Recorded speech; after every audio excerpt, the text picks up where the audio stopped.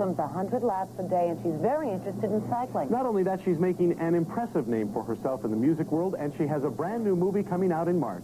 So now meet Madonna.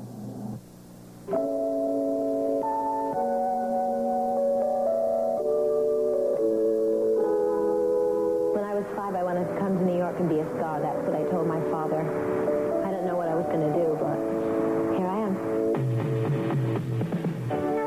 Madonna has arrived. A star she is, not only in New York, but all over the world. But don't get the wrong idea. This is no overnight success story, at least not to Madonna. It's not like I just decided I wanted to do something and everything happened for me.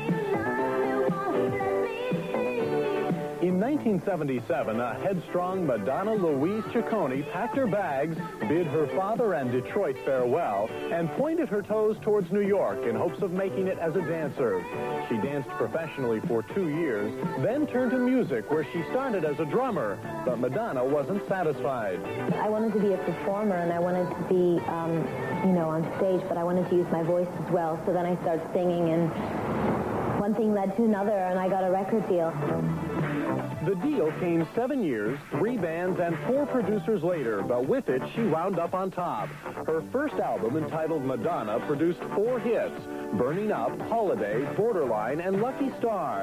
And with each hit came a hot rock video.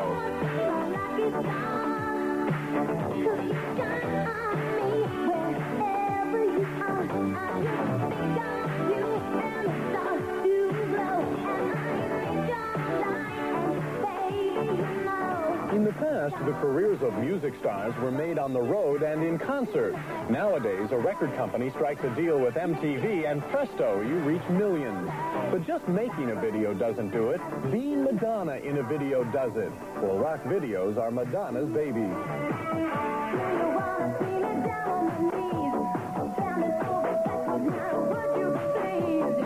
Displays a feverish passion, a long, slow tease with a bodily blend of girlish innocence and carnal knowledge. Madonna wouldn't have it any other way.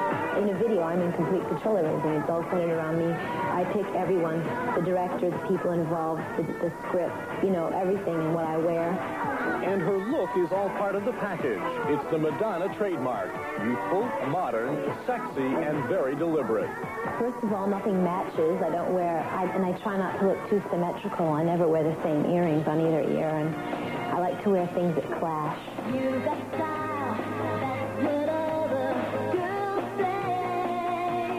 The biggest influence in her style and appearance is her best friend and one of her few female friends, French designer Maripol, whose rubber bracelets and earrings Madonna is making famous. Whenever I do, um, you know, photo sessions for um, a magazine or if I'm doing, you know, video or TV or whatever, or even a live performance, Maripol comes and helps me with the whole stylization of it. Helps me put my clothes together, gives me the jewelry to wear, and it just has an eye for the whole, the whole look of everything. As her fame and fortune grow, so grows Madonna into a new medium, film, major motion pictures. This spring, Desperately Seeking Susan, a new wave comedy, will be released with Madonna in the lead role, a role that hits home.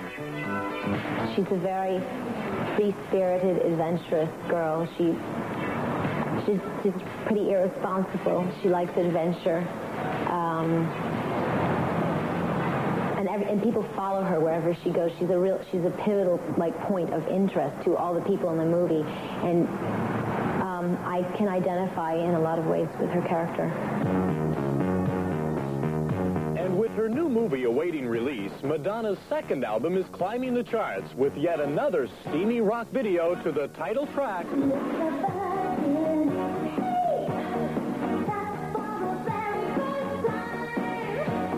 Is Madonna, an ambitious 24-year-old businesswoman, trendsetter, and pop star, with a career she planned, built, and for now seems to have conquered. But for Madonna, success comes with mixed emotions. It was more fun walking around being anonymous and just being looked at and thought I was interesting looking. Now, now people think that they can come up to you and, you know, ask you for your phone number and stuff because they know who you are. There's, you feel a lot more vulnerable.